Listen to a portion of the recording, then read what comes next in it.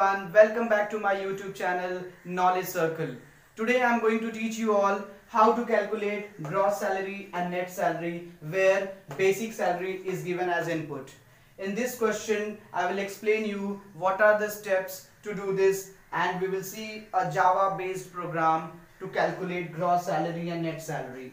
And if you're new on my channel, please subscribe my channel and press the bell icon for the latest notifications. So let's start the video.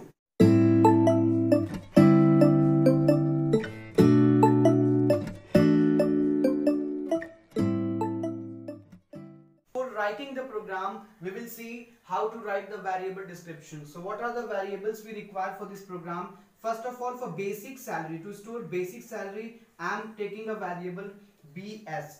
The type of the variable I am taking double because the salary may be in decimal value. What is the purpose of taking uh, BS? To store to store basic salary. Next, after basic salary, I am taking for gross salary that is GS. This will also be double to store gross salary. Next one I am taking NS to store. It is used to store net salary. The next one we need DA, dearness allowance. It may also be in float value, so that's why let's take it double to store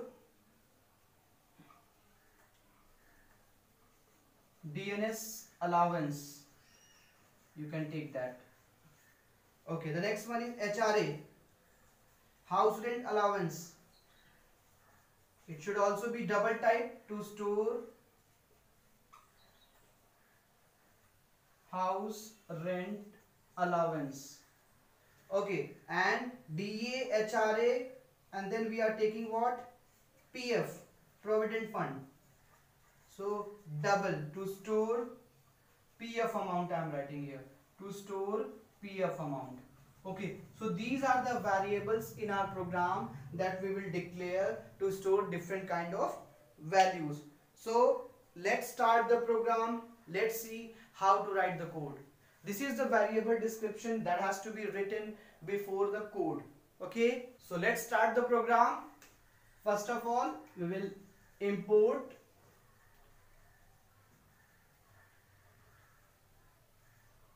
the scanner class of util package. Then we will write a class name.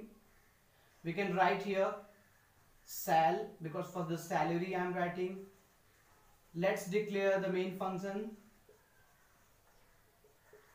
public static void main then the argument required for main function has to be written then again an opening braces has to be put. Next step let's make an object of scanner class.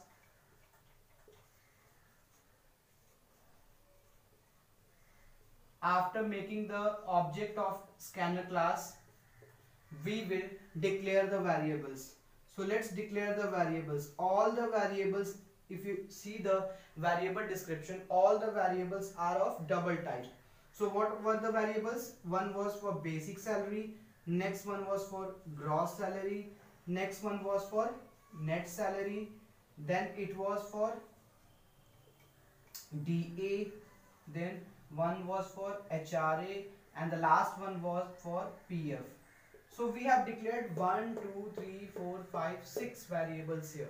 Okay, so it is possible to declare all the variables together if they are of same type. The next step is let ask the user to enter the basic salary. So we will print a message to the user system dot out dot print ln enter the basic salary enter the basic salary. Okay when the user gives the basic salary you can store it. So basic salary will be stored in bs so we will write here sc dot next double next double and we will get that and the basic salary will be stored in BS. Now what we need to do, we have to calculate dearness allowance, home rent allowance and PF and then we will calculate gross salary and net salary. So how to calculate? Because in the question how much uh, DA is given. DA is 30%. It was given there 30% of basic. 30% of basic. So let's calculate DA. DA equal to how much? 30% means it will be 0.30 or you can write directly 0.3. 0.3 of what? 0.3 of BS. 0.3 of BS will be calculated. That will be stored. HRA. HRA has to be how much? It has to be 12.5%. It was given there 12.5% of basic. Okay. So I'm writing here for 12.5% we will write here 0.125 0.125 and we will multiply it by BS. Okay, this is how we calculate. And the last one, the third one, PF. PF equal to 10%. So write here only 0.1. Okay, how much? 0.1 and multiplied by basic salary. So in this way, we have calculated dearness allowance, home rate allowance and provident fund amount. These three have, has been, have been calculated by us. It's time to calculate gross salary and net salary. Calculate gross salary. Gross salary will be equal to the basic salary plus the DA amount and the HRA amount. When we uh, add it all, gross salary will be calculated. To calculate net salary, what you have to do, you have to subtract gross salary. You have to subtract PF amount from the gross salary and you will get the net salary. So we have done this. So let's print it. What we can do, we can write here system.out.println. Okay, so let's calculate.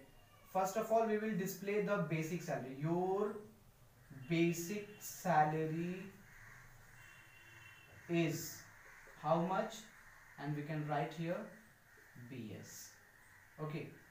And if you want to display a space and you want to display here the rupees symbol it is possible. You can. Then next is let's display the gross salaries. System.out.println your gross salary is and that is what GS and here you can write RS if you wish give a space here. Then write RS and the last one net salary system dot out dot print ln your net salary is how much? That is ns where we store that. Then give a space and put rs symbol there. You can write like this. So in this way we have calculated net salary and gross salary.